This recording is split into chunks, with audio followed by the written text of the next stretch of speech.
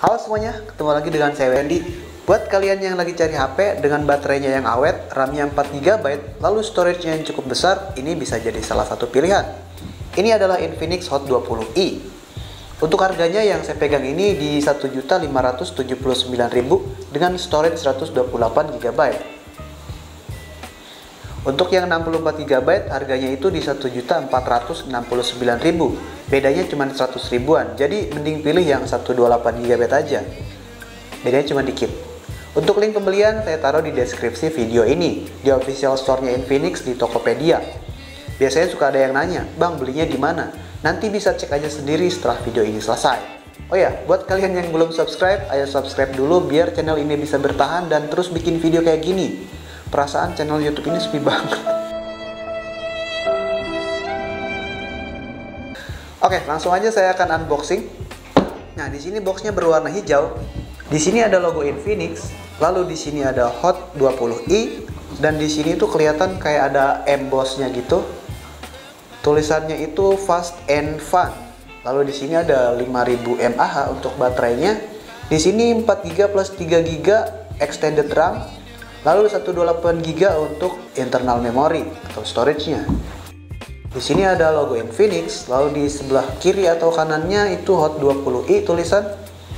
Lalu di bagian bawahnya sini ada keterangan warnanya, Wilderness Black. Warnanya ini hitam, lalu ada IMEI dan ada keterangan produksi. Lalu di bagian belakangnya sini ada keterangan spesifikasi yang lebih lengkap. Oke, langsung aja saya akan buka. Rapat sekali packingannya.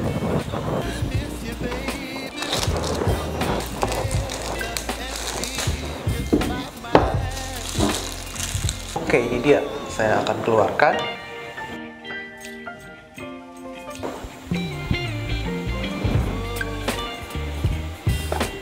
Oke.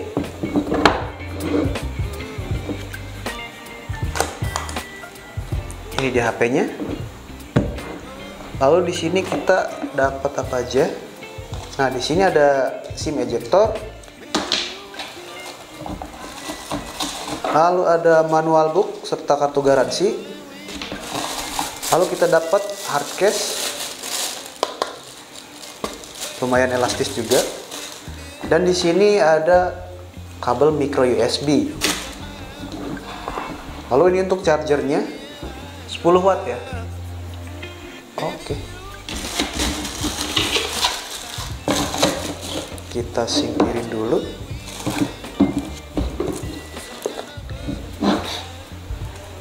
Lalu ini dia Infinix Hot 20i. Oke, kita cabut yang ini dulu.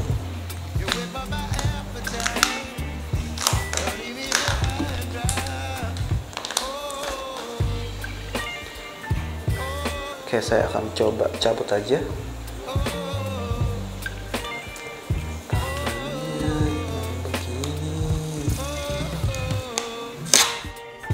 Oke, finishingnya ini mengkilap kayak kaca ya tapi ini bahannya semuanya dari plastik bagian belakang frame bodinya ini plastik semuanya. Oke ini dia Infinix Hot 20i HP ini dirilis akhir tahun 2022 bisa dibilang masih sangat baru. Dengan konektivitas 4G LTE tentunya nggak perlu ada 5G di HP harga segini. Dan layarnya ini HD 720 x 1612 pixel 6,6 inci. Tipe panelnya IPS LCD 20 banding 9 dengan kerapatan pixel 267 dpi kecerahan maksimumnya di 500 nits Lalu chipsetnya ini MediaTek Helio G25 yang mana memang ini kelasnya entry level. Androidnya Android 12 dengan XOS 10.6, RAM 4GB, internal storage ada yang 64 dan 128GB. Kalau masih kurang bisa ditambah dengan micro SD card yang sudah tersedia slotnya. Untuk kameranya ini triple kamera, yang utama itu 13 megapiksel, wide f1.8, sisanya cuma QVGA dengan perekaman maksimum video di resolusi 1080 30 fps. Di sini ada dual tone flash.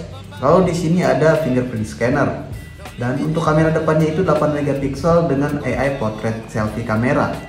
Speakernya di bagian bawah sini, speakernya mono, di atasnya cuma buat earpiece aja, lalu ada wifi, bluetooth, GPS, dan FM radio. Baterainya ini 5000 mAh, maksimum daya ngecas di 10 watt, reverse charging atau bisa buat ngecas HP atau gadget lain sampai dengan 5 watt. Untuk di bagian atasnya ini mulus aja nggak ada apa-apa.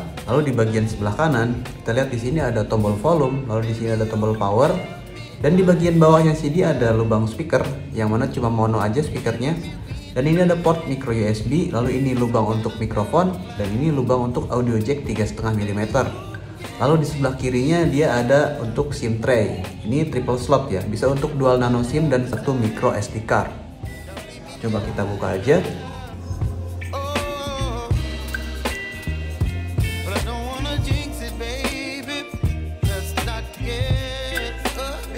Oke, yang pertama saya akan coba untuk kameranya dulu.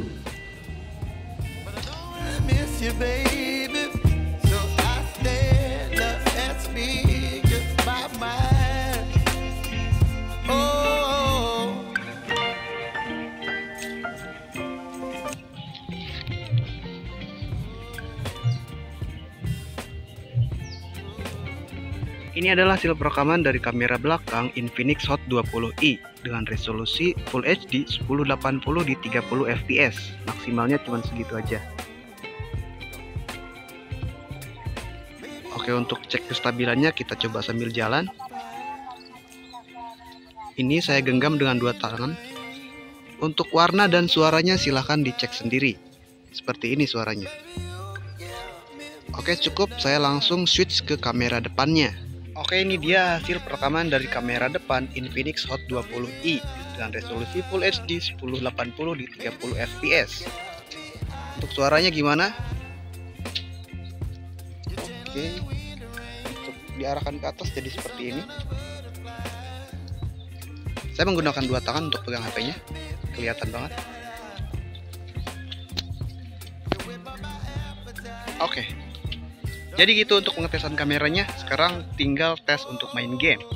Oke, setelah saya tes kamera, saya akan coba untuk main game. Di sini saya akan coba untuk main Mobile Legend. Untuk settingan grafis defaultnya kita langsung dapat di refresh rate tinggi dengan grafis yang sedang.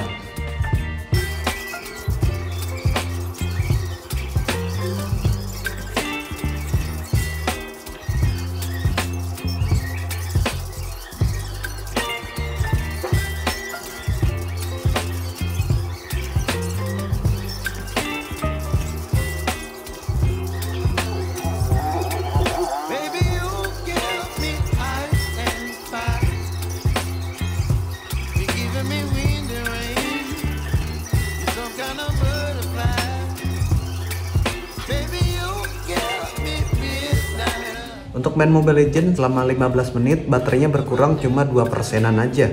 Awet banget di baterainya. Sekarang kita cobain untuk main PUBG Mobile. Di jam 2.19 baterainya itu di 44%. Untuk settingan grafis di PUBG kita dapat smooth medium tapi bisa dinaikin ke balance medium. Udah maksimal segitu aja. Jadi kita pilih yang smooth aja biar lancar mainnya.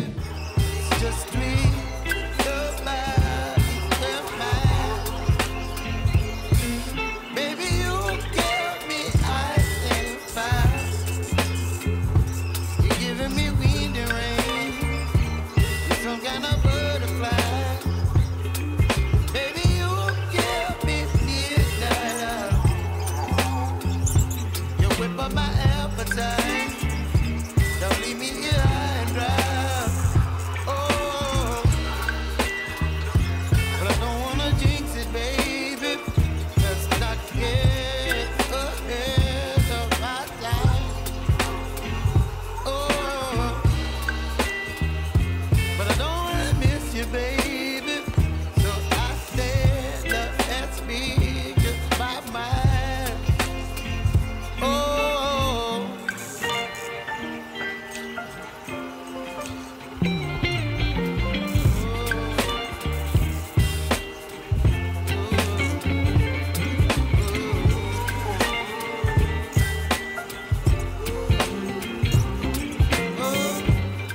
Oke untuk main PUBG selama 30 menit tadi baterainya itu berkurang sampai dengan 5% Jadi masih sangat aman ini baterainya.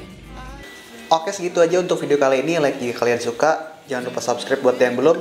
Sampai ketemu lagi di video selanjutnya. Saya Wendy. Bye bye